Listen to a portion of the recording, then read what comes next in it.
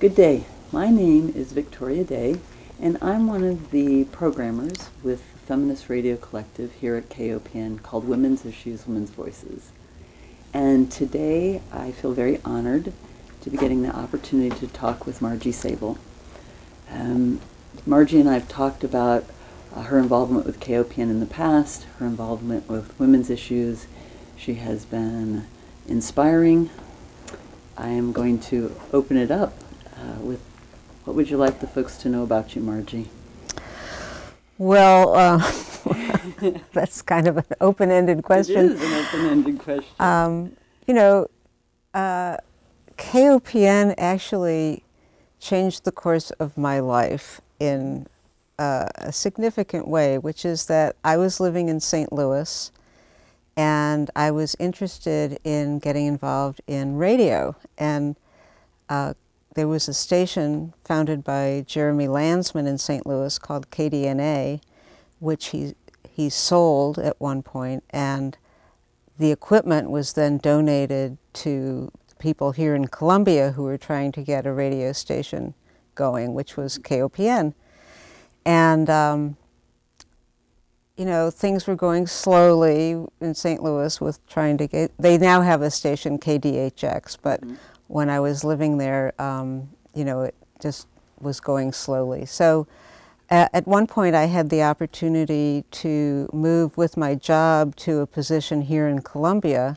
I was working for Reproductive Health Services in St. Louis and uh, they had a position that was open here for counseling and referrals to the clinic in St. Louis.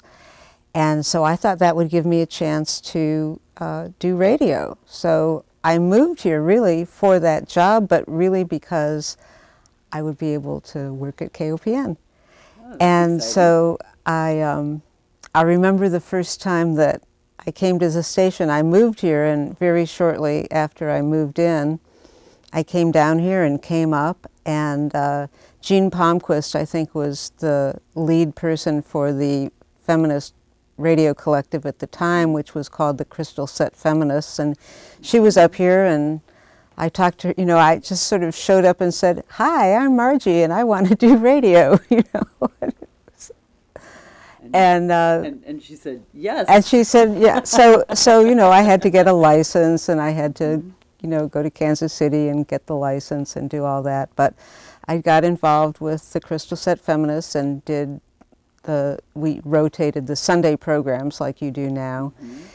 And uh, I did a couple of other programs too, which was uh, I did one of the morning air programs, uh, which played you know wake up classical, mm -hmm. baroque, uh, baroque, Renaissance, and classical music. And I started a new program on Thursday evenings called the Brazen Hussy. And for that program, I played all uh, women's music. So uh, not, it, not necessarily feminist music, but all women artists. So mm -hmm. sometimes I would play folk, and sometimes I would play, play rock, and sometimes I would play blues.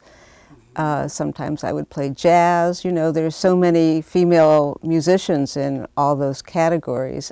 What was the time period of this? It was 9.30 to midnight. Wow. yeah, I don't stay up that late anymore. Oh, yeah. but uh, anyway, so, uh, and then I would have guests come mm -hmm. up. Mm-hmm. Sometimes they would come up and play music. Sometimes they would come up and talk about a certain topic that I was focusing on. Um, I used to call them guest hussies, and they would have their own names. My name for that program was Rosie O'Reilly, and I kind of got into that identity for a while. Yeah. Well, it, and and I've wondered this when we've talked about this before. Where did the idea for the name come from? Well, I had a friend in St. Louis whose car was named the Brazen Hussy, and so I liked it. and uh, my middle name is Rose, so I came up with Rosie. But what I didn't finish telling you uh, was that because I moved to Columbia, the next year I met my husband and um, or the person who would become my husband, and I had these two kids, and you know, none of that would have happened if I hadn't wanted to do radio. Mm -hmm. So there you go. So you were with KOPN from the beginning. So we're talking No, no, I moved here in 1978. 1978. And so KOPN was five years old already. But it was a very uh, exciting time because they had Vista grants for Vista volunteers, and there was another kind of grant. I can't remember the name, but it was a, a federal grant for volunteers of a, a certain kind. I think maybe working in cities or something. So we had people here who came here for to be a, you know, as part of their service to Vista or this other program. And uh, there was just a lot of energy up here at the time, but um, yeah. uh, it was easy to, you know, get involved. I mean, it really was sort of the central focus of my life for a couple of years. So I'm thinking about, um, so the Brazen Hussy was in the 80s? That would have been women's No, music it was uh, from about 79 to 81. Okay. Yeah. So I'm just thinking about that time period because uh, I feel like I, I wasn't um, as connected with women's music as it sounds like you were, but I was at, at WashU at that time and and went from you know growing up in a small town where we had both kinds of music, country and western, you know that joke, um, and then going and just being exposed to. I, I mean, I don't even remember. So you probably came to some of the concerts that I helped produce in St. Louis. I Okay. worked with a, a women's music production collective called Tomato Productions, Yeah. and you know some of the concerts that we produced were in the women's building. Some Mm-hmm. of them were, you know, at at music venues, you know, and uh, different different theaters and stuff. But um, yeah, so. So That was that was that time period. Yeah, as I said. and in fact, I remember one time.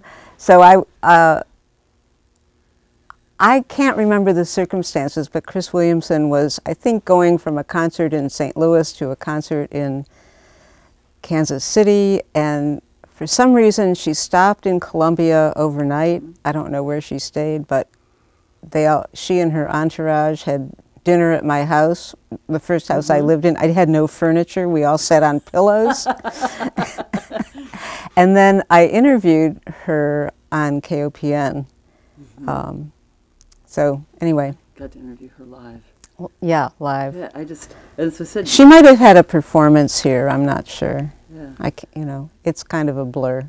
I mean, that's one of the things that excited me about being part of this oral history and talking with you, is because, like, when I think about that and I think about you, like, it's almost like for me, there's a little bit of this glimmer around it.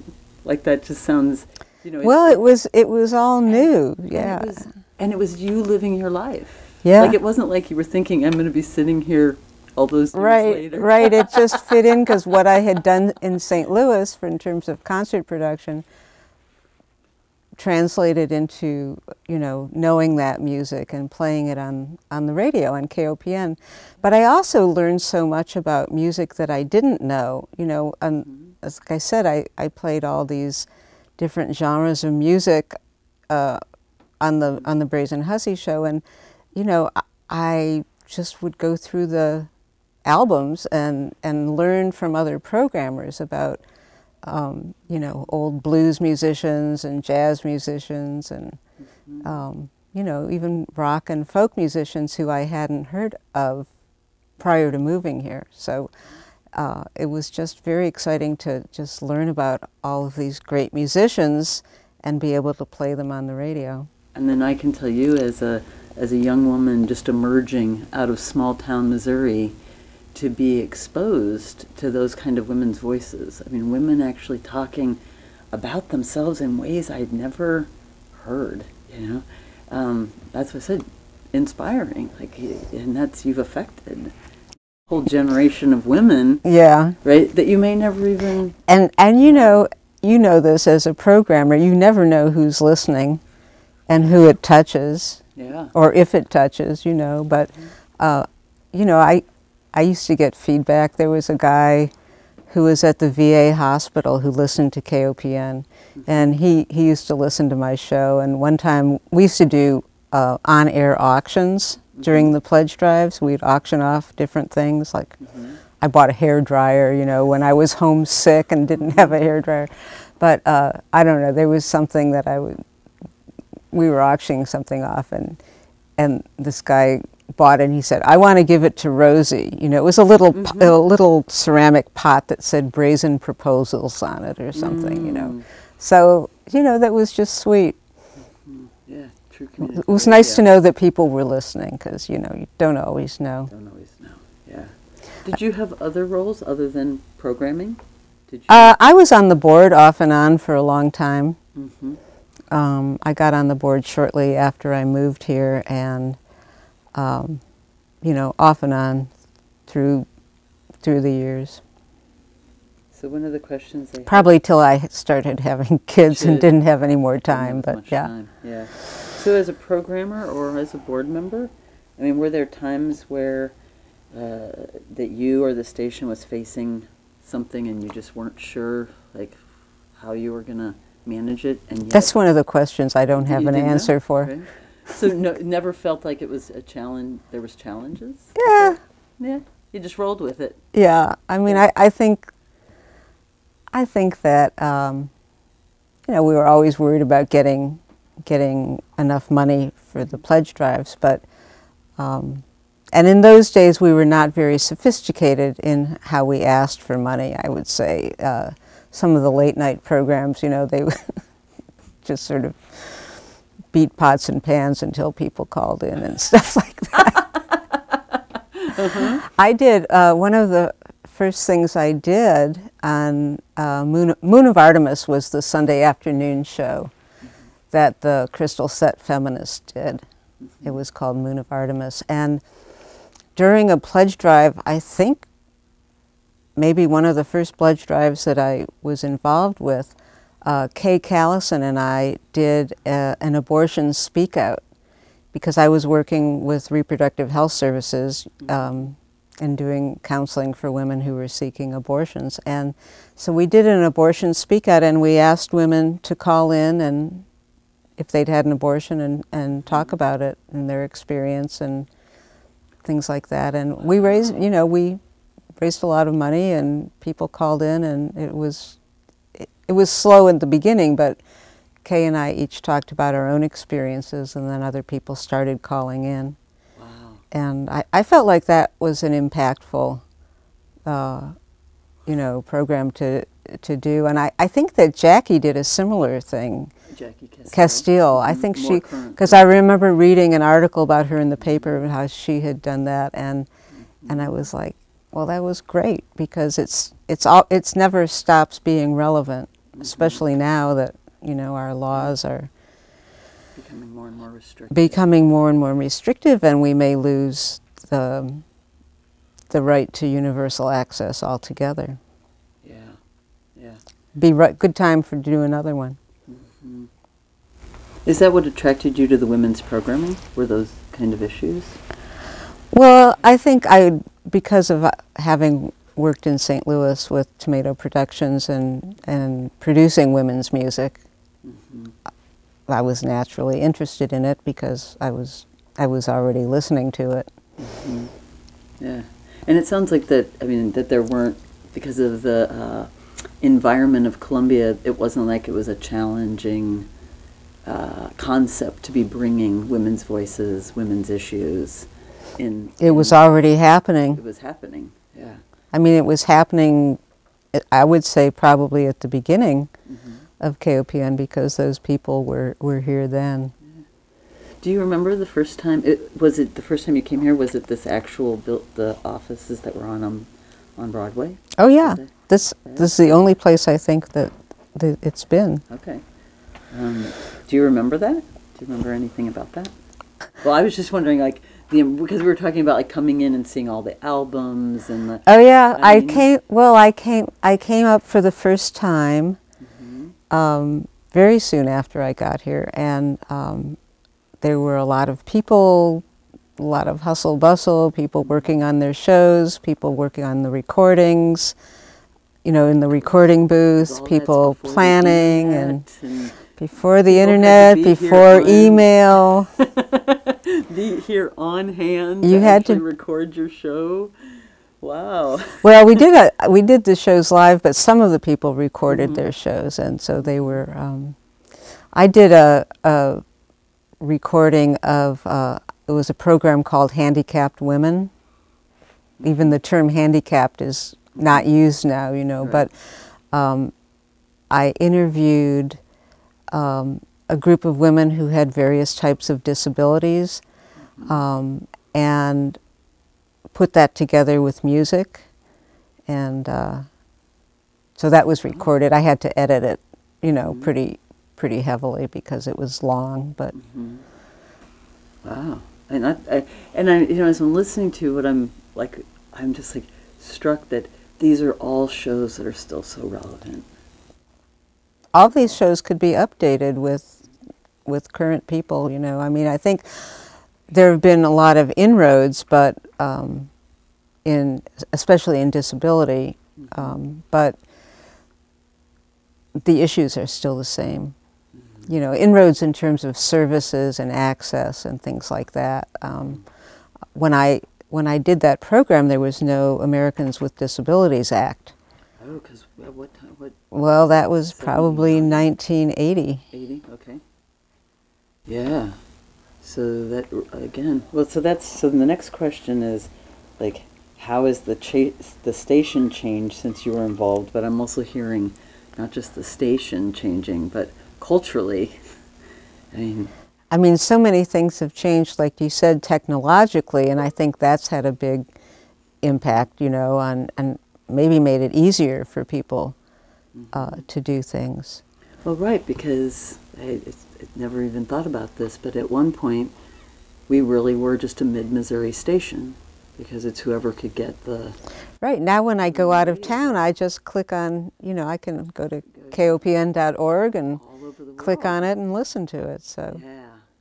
Oh, that's fascinating. Do you think that that's changed the, uh, like the the feel of the station of like what we're sharing at all because we're now like you can listen to it anywhere in the world. Uh, you know, I haven't been up here as a programmer for a long time, so you would probably be a better person to answer that. Do you think it's changed it? Well, sometimes I, I find myself looking on the map, right, and trying to filter out what are the bots, you know, because you know that some of those people who've been listening for five days are not real humans. Um, but going, oh, you know, there's somebody, like, why is that person in California? Why did they just log in 10 minutes ago? I mean, does it change like how you address your audience? I don't think it changes how I address issues. Um, I do think that it, it's given me permission, and especially with what happened during COVID and uh, recording shows through Zoom, I feel a lot more confident about contacting, like, uh, like I just contacted a woman um, who does this podcast called Once Upon a Goddess, and I think she's in Europe. And I went on Facebook and told her about the show that Corey and I do on Women's Issues, Women's Voices, mm-hmm. the Goddess Hour. Said, Would you be willing to be interviewed? And she popped back and said, You know, I would love it. I, I don't know that I really, before COVID, I really thought about how my voice was going out beyond, you know, those names that are on the list of mm-hmm. the, all the little towns. So I would, I would think more like talking to that that audience, like who in my hometown of Mexico, Missouri might be listening. You know, what is it that they want to know or will be uh, inspired by about women's issues? But then also thinking about it now, oh, globally, yeah, Yeah, and and I did, as I said, I did talk about, I did have different themes on the uh, Brazen Hussy where we talked about different topics. Sometimes I would meet someone and they would be very interesting and I'd say, oh, can you come up and, and talk about that? I, I interviewed uh, a flight attendant, a woman flight attendant, and she came up and, and she was also involved in the union. I think she might have been a union steward or something for flight attendants. And she was talking about a lot of the issues relevant to flight attendants that I had no idea about, like, you know, the quality of the air and how that affects their skin and, you know, just other other issues that were important to the health and well-being and safety of, of flight attendants. And um, I thought about her recently with you know, during COVID when mm. we've heard about the unruly passengers making mm-hmm. demands and, you know, being a, uh, abusive towards flight attendants. Mm-hmm. So, well, and just yeah. the attitude about flight attendants has definitely, I mean, changed. I mean, my lifetime, I feel like, you know, there was a time where there were they were very sexualized and yeah. diminished, and, and now I, I don't hear that. It, it, you know, I can't remember a time that that was, and I'm one, I don't know if that has to do with the fact that it's now uh, a profession that both men and women are in, and so it's now seen as a legitimate mm-hmm. profession. You know, um, yeah. So when you're talking about live interviews, something that we've been talking about in the collective you know, I've gotten out of practice of doing live interviews now because everything I do is on Zoom. And I realize that there's a, a sense of security because if someone says a bad word or they say something and they come back and they say, okay, I want that edited out, like uh-huh. I have developed those skills. Right.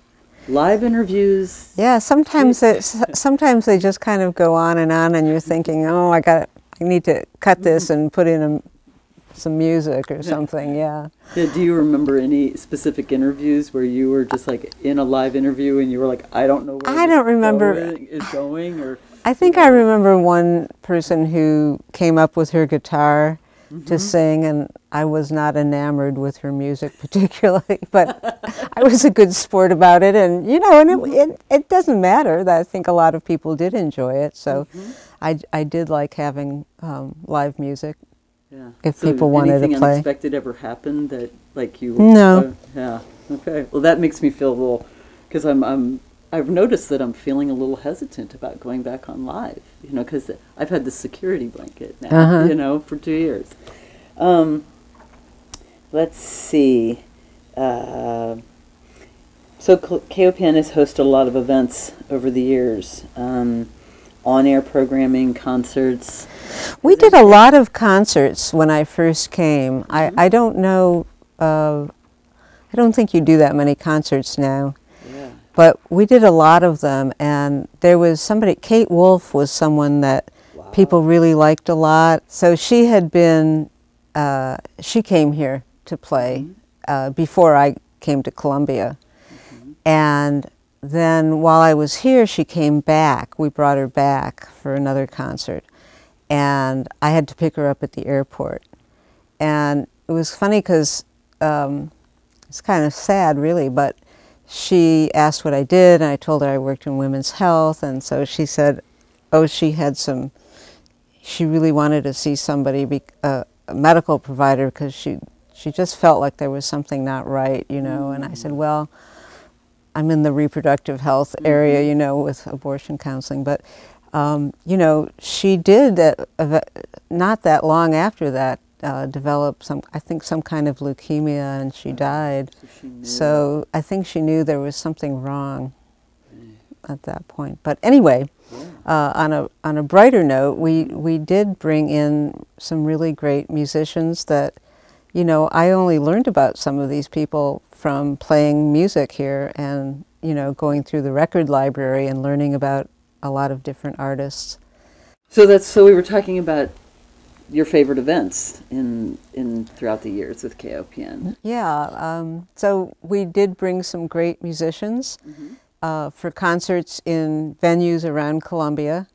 Uh, the Road Apple Party Ballas. Um, there was some at uh, you know different venues we also had people who brought artists, uh, people who had grants to bring different artists to Columbia, up to the studios to record them live. Ed Herman did a show called Ionizations, which was a kind of a new music, electronic mm-hmm. music show. And he had Laurie Anderson up here in the big room wow. doing a live show. before anybody knew who Laurie Anderson was. Oh, you know, fantastic. So uh, that's the kind of thing that that happened here. Yeah. Yeah, because cutting edge. I mean, that's when I try to imagine Columbia without KOPN. It's just a, it, it's just such an integral part of my experience. I mean, yeah. since 1997, but I grew up you know, not that far away.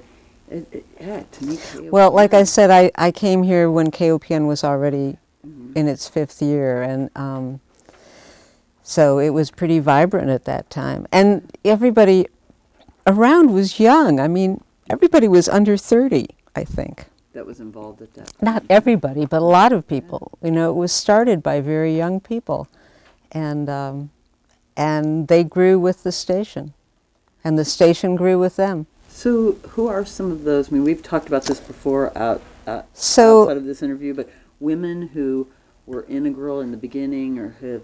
So Pat Watkins um, was and um, was one of the founders of KOPN. And she was, I think, the first, maybe the first program director. Um, she was in, not involved in the um, Crystal Set Feminists or doing playing the feminist music on Sundays at Moon of Artemis, but but she was very uh, extremely involved in KOPN. Jean Palmquist uh, was one of the uh, chief people with the Crystal Set Feminists. Um, Sherry Wormser is someone who I met when I first moved here, and she did programming on KOPN. She did a lot of jazz and blues um, as well, um, and we became really good friends. I, I would say that, you know, for the first two years that I lived in Columbia and I was involved with KOPN at that time, KOPN people were my were my best friends and family. Yeah, Yeah. it was before. This is how, these were the first people that I met, and um, and you know who I have remained close with over the years, even though so many people have have scattered. Mhm. Uh, Kathy Herman was involved, Emmy Triplett, Annette, uh, I can't remember Annette's last name, Charlotte Navarre. Well, and then like Uh, Kay Callison, you mentioned, I remember hearing her under her previous recording name. Right, of Kay Kay Bonetti. Bonetti. hmm And being the, just blown away when I first met Kay Callison and someone said, you know who that is, right? Yeah, and she got a big grant to do the audio prose library. And Yeah. yeah, people at KOPN were very creative and, um, and did a lot of really cool things.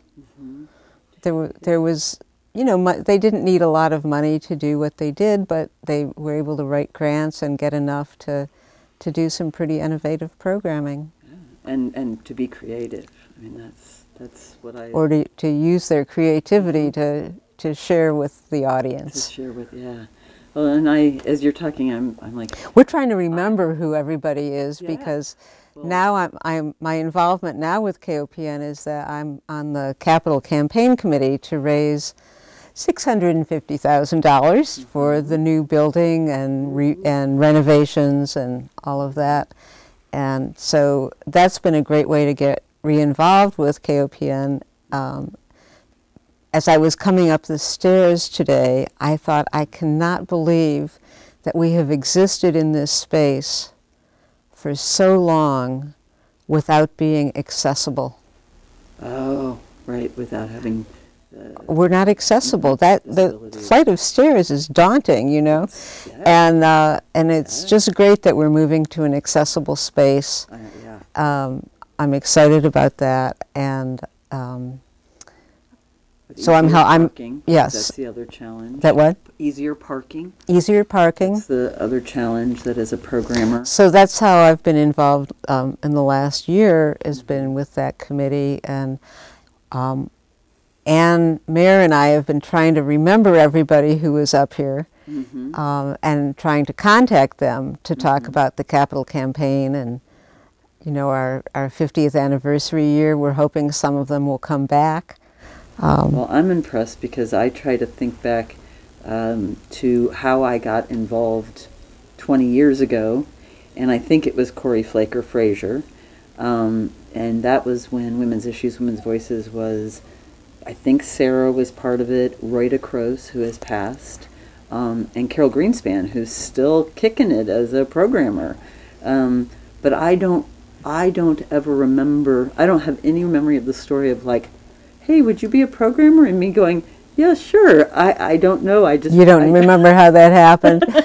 just I- kind of snuck up on you. The, the, the one thing that I do remember is one of my first interviews um, or shows. I don't I don't even remember if I was interviewing somebody. Was about women's literature, and the someone and it was a call-in show, and someone a, a young woman called in and was complaining that I shouldn't be uh, focusing on just women's literature because that was disrespectful. That that there was also men who were writers, and it was. I remember having this moment of being able to explain to her that when I graduated from school in 1982, I had only been exposed to maybe five women's writers, and none of them were alive. And then I, in those early 80s, there were this, I don't know if it was that there was this rush of women who were becoming recognized, like people now who are everyday, like everyday names, Toni Morrison and Maya Angelou and um, uh, uh, Margaret Adler and uh, Atwood, Margaret Atwood. Um, but that, like, you know, that, that women who had, were born in the 80s took all of that for granted, right? That that there were women's literature classes, and, and that's the only interview I remember doing. But it was the thing that hooked me. Is if I can keep weaving stories from different perspectives and, of women's lives, then that's important work. Yeah. Yeah, it's just fun to reminisce about KOPN. Uh, it's been fun to get in touch, for me to get in touch with people that used to be here who are no longer here. I'm still looking for Sherry. I have no idea where she is, but we'd like to reconnect with her. And um, yeah, It's kind of like the greatest high school class reunion ever. right. Well, it's thank you. true. Thank you. Thank you for being part of the KOPN Oral History Project. Thank you. It's been fun.